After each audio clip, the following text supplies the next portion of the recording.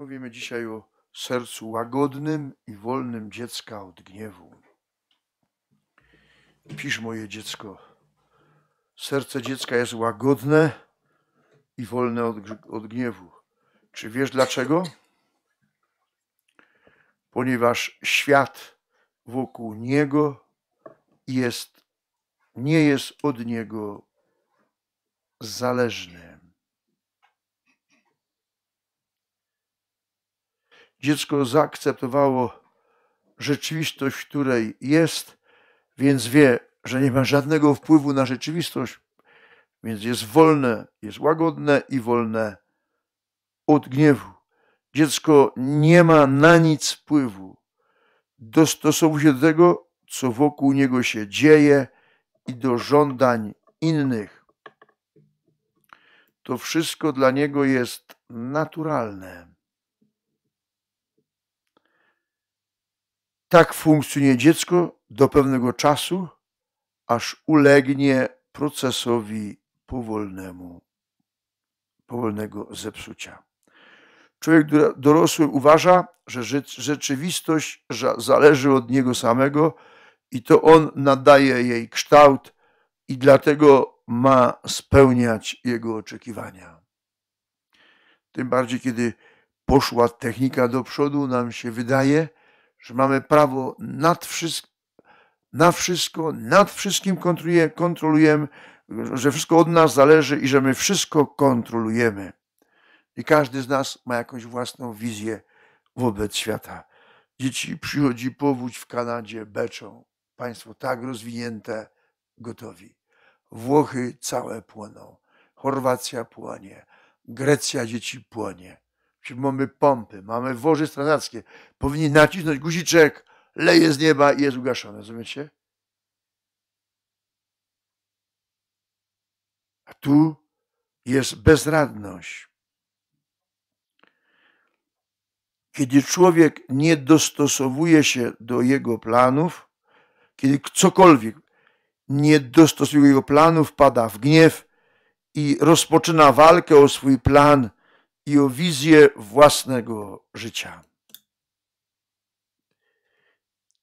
Jeśli współmałżonkowie tej ba bariery i myślenia nie pokonają, mamy całe życie dwa fronty w małżeństwie: chłopski i babski dzieci. I grzeje równo, iskrzy na niespotykaną skalę. Nie da się we wspólnocie małżeńskiej zrealizować dwóch planów. Nie da się na pustelni, jest nas z 30, zorganizować, zrealizować 30 planów dzieci. Nie da się. To jest fizycznie dzieci niemożliwe. Nie jest możliwe zrealizować plan Boga i mój jako jego dziecka. Więc dzieci trzeba ustąpić i powiedzieć, Panie Boże, mów, sługa Twój słucha. Nie dostosowuje się do sytuacji, ale ją zwalcza różnymi sposobami. To są te ogromne, moi drodzy, zmagania człowieka, aby zrealizować swoją wizję, swój plan. Nie dostosowuje do nowej sytuacji, ale zwalczają różnymi sposobami.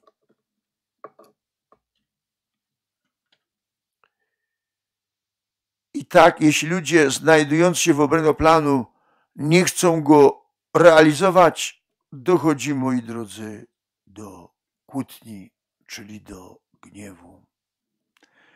I są to przedmioty martwe, wywołują atak złości no bo czasami przedmiot martwy, przykład traktor jest, staje się mi przeszkodą.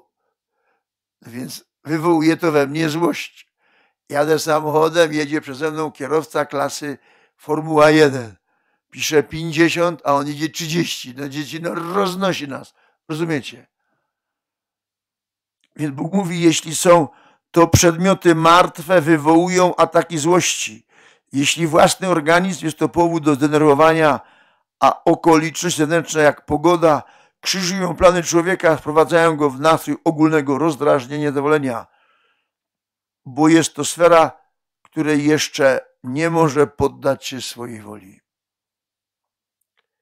Tak więc brak pokory w podejściu do otaczającej żywiołości, pragnienie wszechpanowania nad otaczającym światem doprowadzają do wielkiego napięcia człowieka, do wielkiej frustracji, która objawia się częstym zniecierpliwieniem, rozdrażnieniem, atakami złości, narzekaniem i złośli, z, z, złośliwościami mamrotanymi pod nosem. Pokora dziecka sprawia, że przyjmuje ono świat takim, jakim jest. Mając świadomość, że nic nie potrafi, przyjmuje przeciwne okoliczności, mając świadomość, że nic nie potrafi, przyjmuje przeciwne okoliczności ze smutkiem, ale usiłuje szybko odnaleźć się w nowych okolicznościach i dostosowuje się zamiast walczyć. Odnaleźć szybko w nowych okolicznościach i dostosowuje się zamiast walczyć. Ta postawa wymaga pokory, ale owocuje wewnętrznym pokojem. Człowiek zawsze będzie przeżywał doświadczenia przeciwne woli i przyjmie je, jeśli je przyjmie jako zrządzenie boskie albo próbę własnej pokory, nauczy się stawiać na pierwszym miejscu wolę Bożą. Wyjdzie z tych lekcji zwycięsko. Jeśli będzie walczył zaciekle z otaczającym go światem, popadnie wielkie zgorznienie, a świadomość posiadania nad sobą Boga, zamiast napełnić go wielką ufnością, będzie napełniała go wielkim buntem. Musimy mieć pewne podstawy rozumowe, założenia w realizacji tego, co Bóg w tym orędziu mówi. Musimy przyjąć jako pewne, że człowiek nie ma władzy nad swoim życiem. Człowiek nie ma władzy nad swoim życiem. Myśmy się na świecie nie pojawili z naszego chcenia. Nikt z nas nie miał władzy nad naszym poczęciem, nad wyborem koloru włosów, wzrostu, długości nosa. Kapujecie? To wszystko jest dane. Bóg ma jakiś swój cel. Jak ci dał długi nos, to ma jakiś swój cel. Jak ci dał ucho odstające, no ma jakiś swój cel. W zależności od epoki jest epoka otyłych, epoka chudych, długiego nosa, odstających. W zależności jak to kieruje ludziom, ludźmi, taka powstaje fala. No więc ludzie mają problem, kleją uszy, robią plastykę nosa, wycinają sadło z podboczków. No, bo to się ktoś bawi tym całym tym systemem, bo zna jaki człowiek jest. Bo jeśli przyjmiemy, że człowiek nie ma bowiem władzy nad swoim życiem, ma jedynie władzę nad swoimi decyzjami.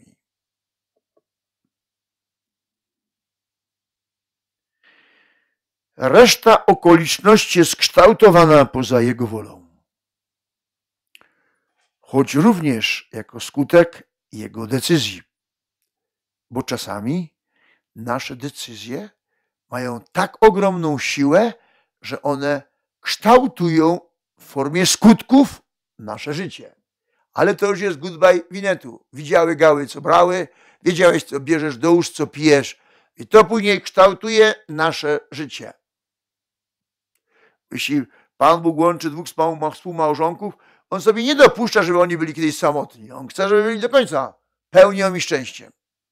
Jest jakaś decyzja, jest jakiś skutek, no i później kształtuje się obraz samotnego ojca, starego kawalera, czy samotnej matki dzieci. To nie jest wybór Pana Boga. To są skutki naszych decyzji. Więc takie zjawiska też powstają i Bóg mówi. Reszta okoliczności jest kształtowaniem naszej rzeczywistości poza Jego wolą, choć również jest to jako skutek Jego decyzji. że się w takiej sytuacji dzieci znaleźliśmy. Nie można powiedzieć, że człowiek nie ma wpływu na własne życie i jego kształt, bo oczywiście to on je buduje poprzez świadome i przypadkowe decyzje. Ale ostateczny kształt jego dnia nie jest możliwy do zaplanowania. Więc Bóg nie neguje, że człowiek ma pewien wpływ na własne życie jego kształt. Bo oczywiście to on je buduje poprzez świadome lub przypadkowe decyzje, ale ostateczny kształt jego dnia jest niemożliwy do zaplanowania. Myśmy uwierzyli w słowa Pana Boga i Pan Bóg co powiedział? Zaczynaj dzień od dnia, od mszy świętej, a ja ci cały dzień poustawiam tip-top. Wedle mojej woli i będziesz szczęśliwy. Dlatego ludzie bogaci są rzadko pokorni, bo ich możliwości oddziaływania na zewnętrzne okoliczności są większe. Biedny nie potrafi słupa elektrycznego przesunąć ze swojej działki na sąsiada, ale bogaty albo ma układy potrafi. Zapłaci i się w planie znajdzie nagle przesunięcie dzieci. To jest logiczne. Więc bogaci mają dużo większe możliwości. Że przyjedzie do domu policja, to nie znaczy, że będzie donos. Bo dostanie kopertę i idzie do domu spokojnie. To są wszystkie, to więc Pan Bóg to jasno ustawia, dlatego ludzie bogaci są rzadko pokorni, bo ich możliwości oddziaływania na zewnętrzne okoliczności są większe. Trudniej jest wówczas zachować pokorę, ale bliska relacja z Bogiem i siła postawa wdzięczności i własnej niemocy może być antidotum dla pułapek bogactwa. Więc Pan Bóg nie neguje bogactwa, mówi, że bliższa relacja z Bogiem, świadoma postawa wdzięczności jest antidotum na pułapki bogactwa. Staraj się więc w codziennym życiu szukać woli Bożej i jak dziecko przyjmuj ją z pokorą. Błogosławię Cię w imię Ojca i Syna i Ducha Świętego. Amen. Ja też na koniec tego rozważania mówię Wam Amen.